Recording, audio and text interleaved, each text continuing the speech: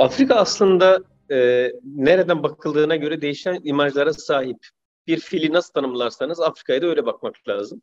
Afrika'da evet halkların önemli bir kısmı yoksul Afrika ama Afrika tarih boyunca böyle değildi. Afrika Mali İmparatorluğu, Aksum İmparatorluğu başka imparatorluklara da ev sahipliği yapmış. Medeniyetin, insanlığın tarihinde de önemli yerlere, e, önemli e, tarihin dönüm noktalarına ev sahipliği yapmış koca bir kıta. Afrika'yı sadece yoksul kıta olarak tanımlamak, Afrika'yı eksik tanımak olur. Kaynaklar itibariyle baktığımızda ise maden kaynakları, tarım alanları, sulak alanları, ekilebilir arazileri, insan kaynağı gibi kaynaklar açısından ise Afrika zengin bir kıta.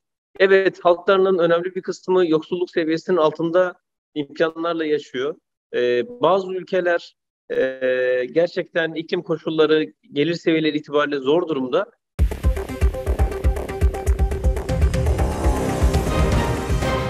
Afrikalı bir hanımefendinin şöyle bir ifadesi var.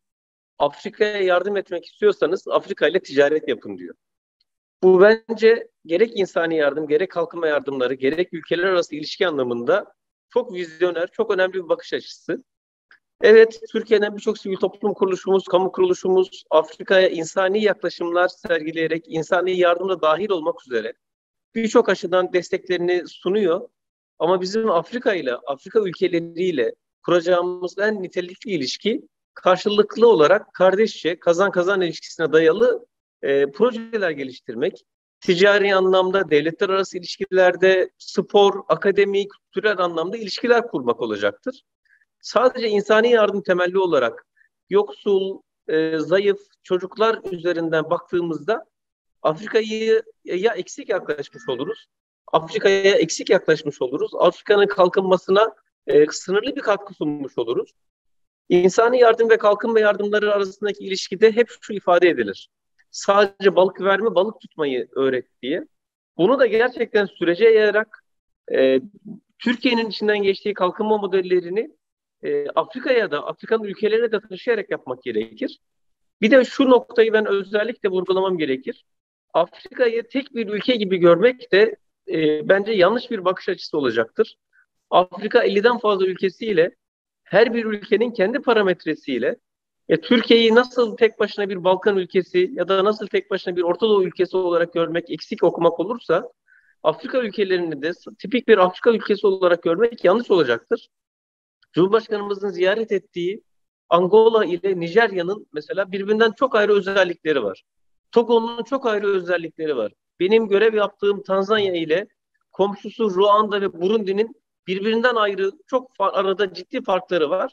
O yüzden Afrika'daki her bir ülkeyi de kendi dinamikleri içinde değerlendirmek, e, kaynaklarını düşünmek, Türkiye'nin neler alabileceğini, neler satabileceğini, hangi alanlarda yatırım yapabileceğimizi, hangi alanlarda işbirliği yapabileceğimizi ülke bazlı olarak da bakmak lazım. Böyle baktığınızda her bir ülkede karşınıza deryalar çıkıyor. Her bir ülkede karşınıza bir sürü zenginlik çıkıyor. Bu o bizim yoksul, gelişmemiş, insanın yardıma muhtaç Afrika imajını da değiştirmemize yol açacaktır diye düşünüyorum.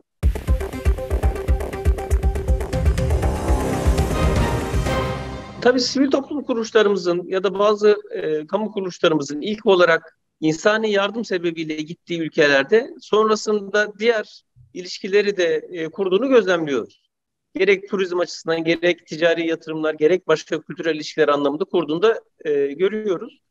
E, ama tekrar e, aynı noktaya vurgulamak istiyorum. Biz bazı ülkelere direkt yatırım için, bazı ülkelere direkt kültürel işbirlikleri için de gitmemiz gerekiyor. Afrika ile gönül bağını kuvvetlendirmek, nasıl ki dünyanın başka bir ülkesiyle, Orta Asya ile, Balkanlarla çok sık ilişkilerimiz varsa, e, Avrupa ile çok yoğun bir ticaretimiz var. Afrika'nın da geleceğinin geleceğin kıtası olduğunu düşündüğümüzde kaynaklarıyla, nüfusu itibariyle e, en az Avrupa kadar hani gelecek anlamında e, yönümüz dönmemiz gereken bir kıta olduğunu düşünüyorum. Türkiye'nin e, Afrika için özel bir önemi olduğunu, Afrika'nın da Türkiye için özel bir önemi olduğunu düşünüyorum. E, bu ilişki karşılıklı olarak tamamen birbirimizi tamamlayacağımız, birbirimizin ihtiyaçlarını karşılayacağımız bir ilişki olacaktır. Tamamen kazan kazan üzerine kurulacaktır. Afrika'da şu an bir tarafıyla batılı ülkelerle olan sömürgecilik tarihi, bir tarafıyla e, başta Çinli olmak üzere başka ülkelerin yeni yaklaşım metotlarıyla böyle iki kutup arasında kalmış gibi bir durumdalar. Bu anlamda Türkiye-Afrika ilişkisi Afrika içinde üçüncü bir yol olacaktır. E, bunun e, ayakları yere basan altı akademisyenler, gazeteciler tarafından doldurulmuş. Özel sektörümüz, sanayi kuruluşlarımız tarafından üretim ve ticaret anlam, anlamında anlamlandırılmış. Kültürel ilişki anlamında e, karşılıklı olarak hikayelerimizi birbirimize anlattığımız ve hani altını biz doldurabileceğimiz o kadar çok ürünümüz var ki ticari anlamda, kültürel anlamda. İçinde bulunduğum Tanzanya'da da e, Diriliş Ertuğrul dizisi başka Türk dizileri severek izleniliyor. Türk ürünleri kaliteli ürün olarak konumlandırılıyor. E, bizim de bu coğrafyayı yakinen tanımamız, 2000'lerin başında başlatılmış olan Afrika açılımının artık ikinci, üçüncü seviyelerine geçmemiz, buradan çok kaliteli, çok nitelikli, e, dolu dolu ilişkiler kurmamız gerekiyor. Bunun çok güzel örneklerini görüyoruz. Afrika'nın farklı ülkelerinde e, yeni kurulan ilişkiler, yeni kurulan hatlar, Türk Hava Yolları'nın bayrak taşıyıcılığı, diğer kurumlarımızın, Marif Vakfı'nın, TİKA'nın, Yunus Emre'nin e, ve başka kuruluşlarımızın kurduğu ilişkiler e, bizim Afrika ülkeleriyle her biriyle tek tek daha nitelikli ilişkiler kurmamıza, daha derinlikli ilişkiler kurmamıza sebep oluyor.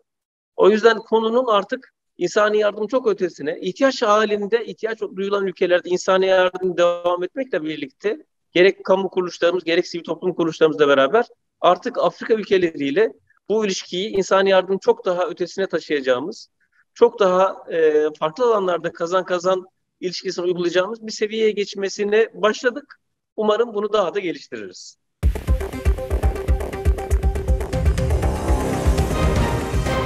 Afrika'nın her ülkesinde aynı e, şekilde ve aynı seviyede bir Türkiye algısı yok.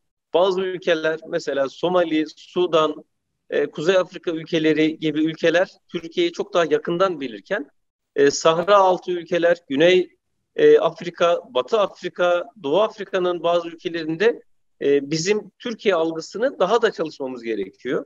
Belli kesimlerde, e, entelektüel seviyesi yüksek kesimlerde ya da bürokraside e, Türkiye'yi daha yakından tanıyanlar, özellikle İstanbul Havalimanı'nın bu anlamda önemli bir etkisi olduğunu ifade etmem gerekir. Çünkü özellikle Avrupa'ya ulaşımlarda Türk Hava Yolları ve İstanbul üzerinden transit geçişler çok önemli bir e, güzergah oluşturdu. E, o yüzden Türkiye ve İstanbul biliniyor ama nitelikli ticari ilişkiler, karşılıklı yatırımlar, kültürel ilişkiler konusunda başka e, Afrika ülkelerine daha çok çalışmamız gerekiyor.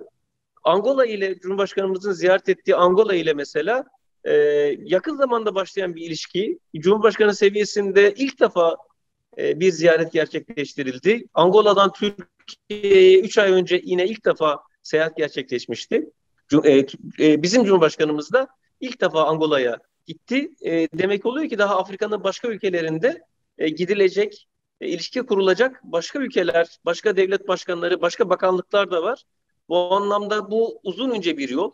Ee, Cumhurbaşkanımız bu anlamda Afrika'yı Afrika dışından en çok ziyaret eden liderlerden biri. Ama bunun altını da e, gerek bürokrasi seviyesinde, gerek sivil toplum, gerek e, diğer kamu kuruluşları seviyesinde de uzun uzun doldurmak gerekiyor. İki, e, bu konuya özellikle parmak basmak istiyorum. Üniversitelerimiz, yani sadece Afrika çalışma alanları değil, sağlık alanında, tıp alanında çalışanlar, mühendislik alanında çalışanlar, ya da başka akademik dallarda çalışan e, akademisyenlerimiz de Afrika'daki e, gelişen dünya yani Afrika'nın endemik bitkilerini çalışmaktan e, Afrika'nın hayvanlarını çalışmaya, e, Afrika'daki e, tıbbi uygulamalardan olumlu ve olumsuz e, çünkü insanlığın bir milyardan fazla bir nüfus şu an Afrika'da yaşıyor. E, akademik anlamda da ilişki kurmamız gereken çok alan olduğunu düşünüyorum. Yine bir başkan olarak, bir başka alan olarak da kültürel konular. Burası birçok kültürün iç içe geçtiği inanılmaz kültürel olarak zengin bir yer. Sadece Tanzanya'da 130'dan fazla kabile yaşıyor. Her bir kabilenin kendi gelenekleri, görenekleri, e, bazılarının farklı dini anlayışları, e, müthiş bir zenginlik iç içe yaşıyor. E, insanı tanımak için, doğayı tanımak için, e, bu kültürler, bu kültürel zenginlikleri de anlamak, kendi kültürel zenginliklerimizi de paylaşmak gerekiyor. E, dünyanın farklı ülkelerinde bulunmuş biri olarak ifade etmek istiyorum. Türkiye'nin sahip olduğu yemek kültürü dünyadaki çok az sayıda ülkede var olan bir zenginliktir. Emin olun sadece bunu bile paylaşsak, Türkiye'nin sadece yemek kültürünün zenginliğini bile Afrika ülkeleriyle paylaşsak müthiş bir kültürel ilişki kurulmuş olacaktır. O yüzden kültür alanında çalışan sivil toplum kuruluşlarımız, şirketlerimiz e, ve akademisyenlerimizin de Afrika ile ilişkilerde en az dernekler, vakıflar kadar, en az özel sektör kuruluşları kadar önemli bir yer tutacağını düşünüyorum.